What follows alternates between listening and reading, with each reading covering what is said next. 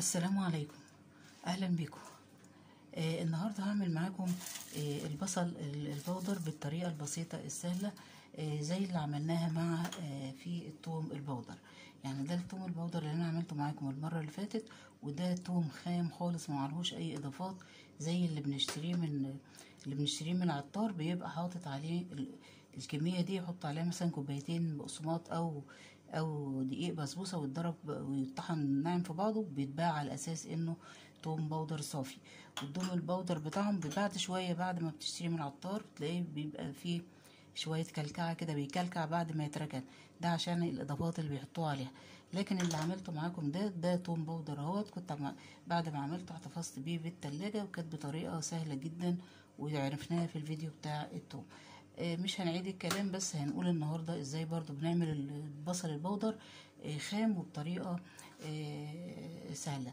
يعني شايف ده التوم powder.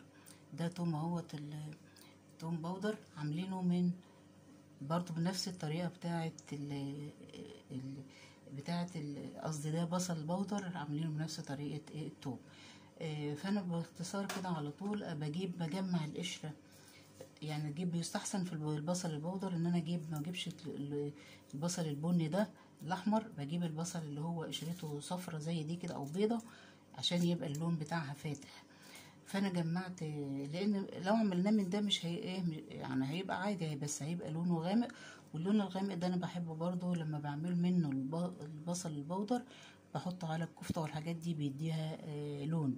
فالبصل سواء غامق أو فاتح بس إيه لو عملت الغامق خليه لوحده والفاتح خليه لوحده عشان ده بيبقى لونه حلو في الكفتة والحاجات اللي إيه اللحوم المفرومة والكلام ده.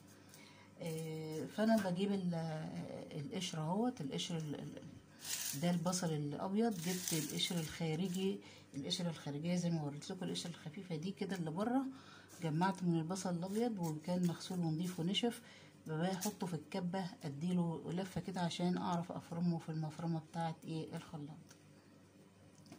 يعني جمعي الكمية اللي تقدري عليها واعملها. بس أنا جايبة لكم شوية بقى كده عشان نفرمهم ونشوفهم قدام آه قدامنا إزاي بنعملهم وهوريكم جزء تاني عملناه بطريقة تانية.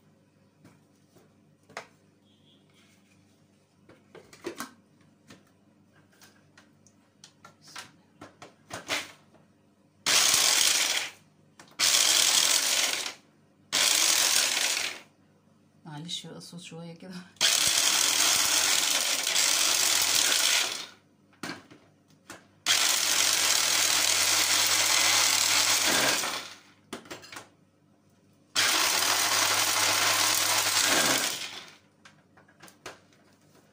فأنا بحطه في الكبة عشان إيه؟ الحجم بتاعه يقل شوية. يعني هو بعد ما كان مال, مال ال- هايش كده ومال ال- ال- الكبة بتاعتنا دي آه، بدأ بقى إيه يقل شوية عشان أحطه في في المفرمة الصغيرة آه، بتاعة ال- الخلاط فبتبقى صغيرة فلازم إيه اقلل الكميه بتاعته كده أضغطها يعني.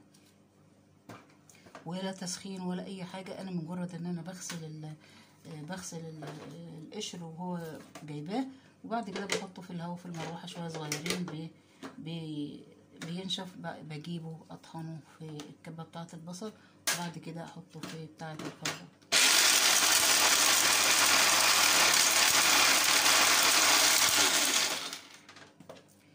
يعني مش هنجيب بصل بصحيح ونخرطه ونحطه في الفرن ون- وننشفه والحاجات اللي أنا شفتها ديت حاجات صعبة جدا قوي عشان أعمل شوية توم.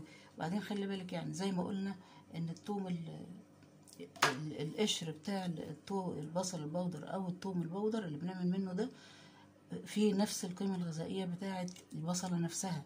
يعني بتاعة البصلة نفسها. يعني القشرة دي عبارة عن جلد بصل وبينشف يبقى ادينا قشر وهكذا.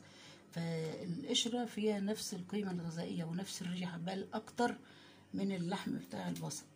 معلش الصوت. ارجع. احطه هنا وافرمه في الخلاط.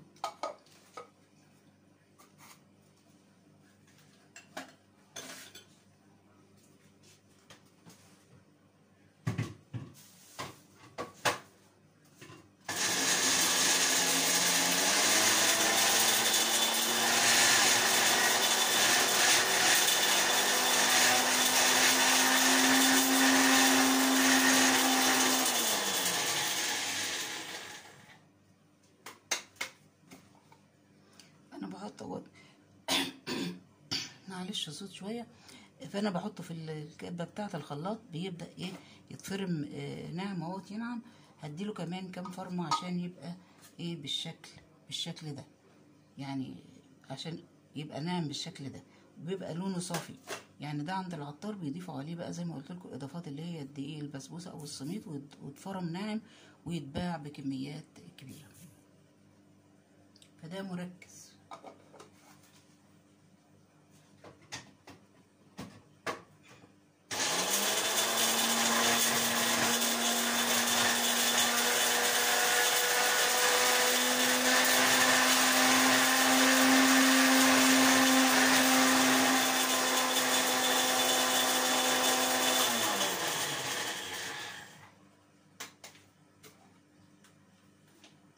هو بياخد وقت شوية في الفرم عشان بيبقى إيه الكمية قليلة فعلى بال ما بتطحن بتاخد وقت. بعد كده في الطريقة التانية الجزء التاني يعني عشان أخليه بالشكل ده أنا مش عايزة أقعد أضرب كتير عشان الصوت الخلاط مزعج بالنسبة لكم. فأنا بقول إيه بعد ما خدنا القشرة الخارجية دي من أي بصل سواء أحمر أو بني ونشفناه وعملناه بالطريقة اللي أنا قلت لكم عليها دي بعد كده بحطه في برطمانات إزاز زي ما عملنا في التوم وعينه في التلاجة. ممكن بقى بعد كده أنا. وأنا بستعمل بصل القشره الخارجية دي بتبقى رقيقة.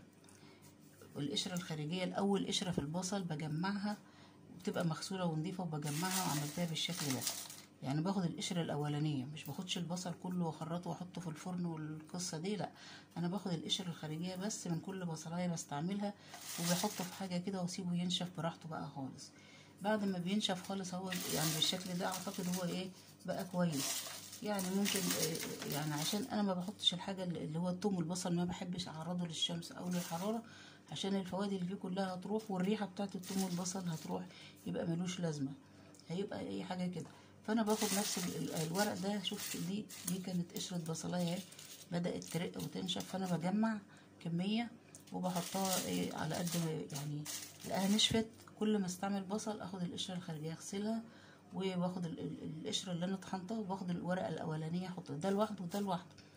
الورقة الأولانية بتاعة البصل أخليها لوحدها لانها بتاخد وقت في التنشيف والتانية ما بتاخدش وقت تاني يوم على طول بفرمها زي ما شفتوا إيه فنفس الحكاية دي هعمل بقى هنا هنا برضو إيه هشوف كده هل هو نشف يعني بقى كويس. هقوم واخداه حطاه برضو في الكبه هنا اللي هو القشر الأولاني ده وأديله فرمة شوية. أتعامل معاه بنفس الطريقة أفرمه يعني أنا افرم هنا ديت.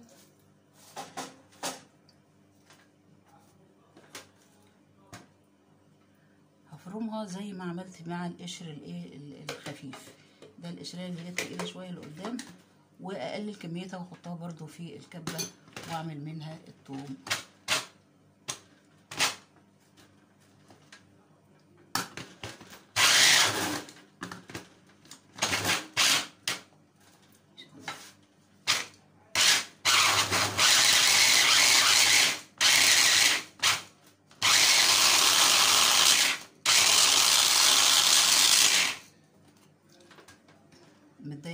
عشانكم عشان الصوت الوحش ده.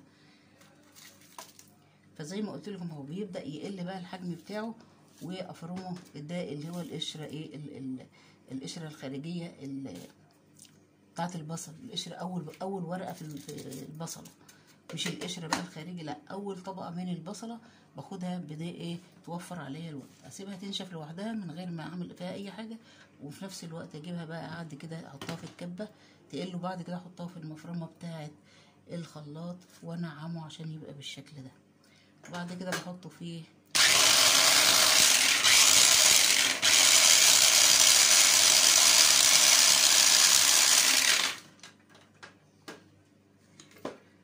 هو في الحقيقة مزعج قوي بالنسبة لكم فأنا صعبانين عليا. فأنا هناخد نفس الكمية دي أحطها برضو في بعد ما بدأت بسيطة كده هحطها في الكبة بتاعة الخلاط وأفرمها. وكده أكون عملت معاكم الايه يعني عشان عايزة أضيع الوقت معاكم وأقعد أفرم قدامكم وأجهز لكم فهي الفكرة زي ما قلت لكم بنجيب القشر الخارجي نغسله وننشفه ونطحنه مرة في الكبة ومرة في المطحنة على طول بتاعة الخلاط يبقى ناعم زي ده ونحطه في برطمانات إزاز. وبعد كده في فكرة تانية اللي عايز بقى يعني ياخد الطبقة الأولانية من البصلة جمعيها كلها بتبقى رقيقة ودبلانه كده نشفي كمية برضو لما تنشف خالص وبعد كده برضو عامليها بنفس الطريقة دي. هيكون عندك أحلى بصل بودر. آه، ريحته جميلة جدا من غير ما تعرضيه للفرن ولا للشمس ولا أي حاجة عشان ريحته تفضل فيه. يعني التوم ده البودر ريحته نفاذة جدا وعملناه بنفس الطريقة وانتوا شفتوا الفيديو بتاعه. وده البصل وزي ما قلت لكم نجيب البصل الابيض لو عايزينه فاتح شوية. والغامق مش مشكلة لأنه بيدي لون في الكفتة وفي الإيه وفي الأكل وفي ال- الطماطم وكل حاجة. أتمنى أكون الفكرة وصلت لحضراتكم وأتمنى تعجبكم وتكون سهلة عليكم وأتمنى تشتركوا في قناتي ومتبخلوش عليا باللايك والشير. تحياتي. عزة سلام